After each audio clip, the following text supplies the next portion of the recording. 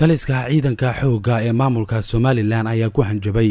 in ay qaadayaan dagaal ay ku sheegeen in ujeedkiisa uu yahay in ay dib ula wareegayaan gacan ku-haynta magaalada laascaanood halkaasi oo muddo saddex toddobaad uu ka socdo dagaal culus. Faysal cabdi bootaan oo ka mid ah abaanduulayaasha ciidanka xoogga ee maamulka somalilan kana hadlayay dagaalka ka socda xarunta gobolka sool ayaa xeelad militari ku tilmaamay go'aankii ay uga soo baxeen saldhig ciidan oo ay ku lahaayeen deegaanka tuqaraq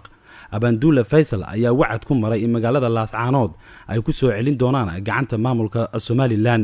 isagoo hadalkiisa sii wata ayaa waxa uu sheegay in ciidanka maamulka somalilan aysan harsan doonin ilaa ay ka hantaan gacan ku-haynta magaalada laascaanood ee xarunta gobolka sool.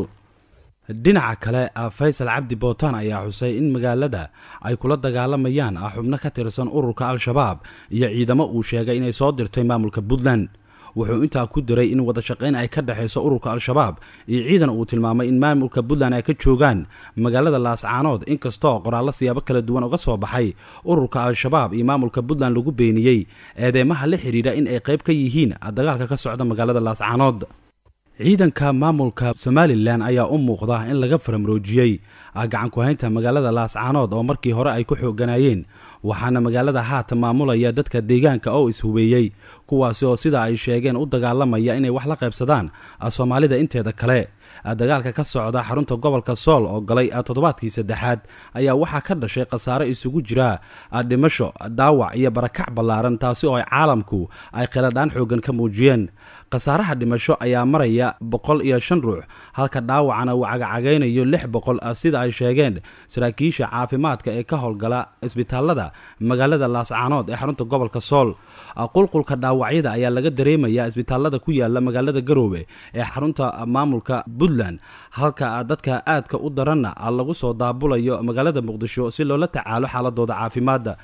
Dhinaca kale hay'adda u n c r oo arrimaha qaxootiga u qaabilsan qaramada midoobe ayaa sheegtay dadka ku dhaawacmay dagaalka in ay ka badan yihiin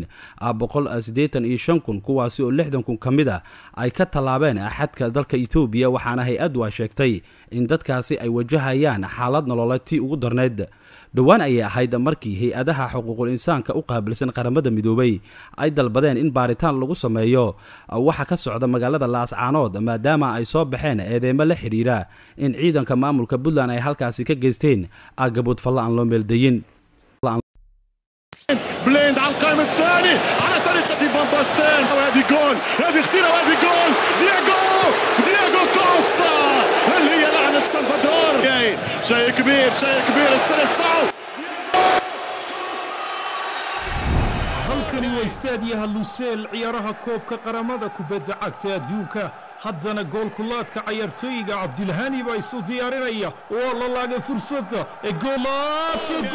شيء كبير شيء كبير السلسعو kala soco ciyaaraha koobka adduunka ee dalka qatar internetka xawaaraha leh shirkadda samtel adigoo isticmaalaya hal eber laba samtel caalami